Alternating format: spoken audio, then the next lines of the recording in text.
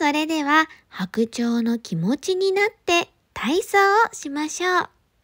最初は羽を上に上げて、ジャンプジャンプ次は羽と羽をタッチ。